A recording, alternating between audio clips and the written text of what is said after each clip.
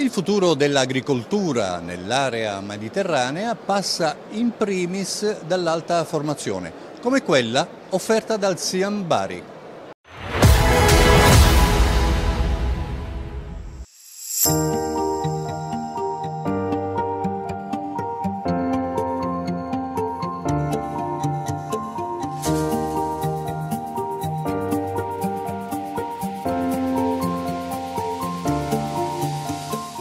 Lo sviluppo del settore primario passa dall'implementazione delle conoscenze e delle tecnologie, un'esigenza sempre più urgente per i paesi dell'area mediterranea alla luce dello stato attuale, caratterizzato tra le altre cose dall'incertezza climatica. All'agricoltura non bisogna solo riconoscere il ruolo primario e fondamentale di produzione alimentare, ma soprattutto oggi anche il ruolo di governo del territorio, di mitigazione dei cambiamenti climatici, di valorizzazione e tutela della biodiversità e di presidio contro i disastri ambientali. Ed è per questo che uno strumento importante e necessario è quello di una meccanizzazione agricola moderna, innovativa, smart e digitale per contrastare quello che è il fenomeno nel Mediterraneo di una erosione continua delle risorse naturali più importanti, acqua e suolo. L'importanza della cooperazione internazionale per lo sviluppo delle aree rurali del Mediterraneo è stata tra i temi portanti di Agrilevante 2023 diverse le iniziative messe a punto nell'ambito della rassegna dal Centro Internazionale di Alti Studi Agronomici Mediterranei di Bari.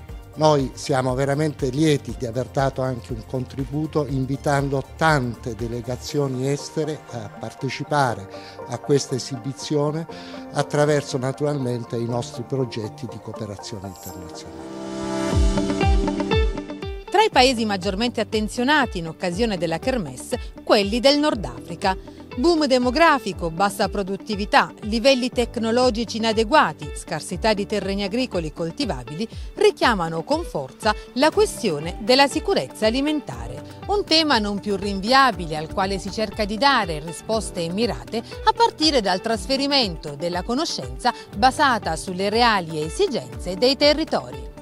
Il SIAM Bari eh, sviluppa tante attività di formazione sia eh, qui presso il nostro campus che nei, nei territori in cui operiamo eh, attraverso master della durata di, di due anni e attraverso corsi di alta specializzazione eh, che vengono erogati eh, presso la sede di Bari e presso la sede di Tricase.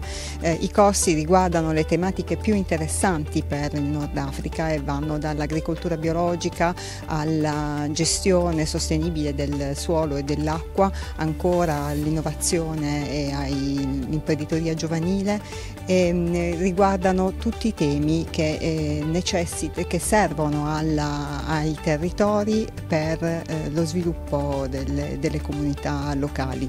Eh, I nostri studenti frequentano e vivono la vita del campus eh, per due anni preparando anche una tesi sulle tematiche più importanti e poi tornano nei loro territori dove raggiungono ruoli eh, importanti a livello professionale e possono applicare quello che hanno imparato qui in istituto. Resta sempre un contatto molto forte con eh, il nostro istituto e mm, il sostegno per qualsiasi necessità loro abbiano. Sicurezza alimentare, sostenibilità ambientale e utilizzo razionale della risorsa idrica tra i temi salienti di Agri Levante. Una sfida complessa da affrontare puntando sulla ricerca e sull'innovazione tecnologica. Il nostro istituto si sta muovendo proprio in questa direzione. Per esempio, di solito noi ci preoccupiamo sempre del fatto che l'acqua è poca, l'acqua è molta. Beh, non, non basta soltanto questo, bisogna vedere anche come l'acqua disponibile viene poi utilizzata.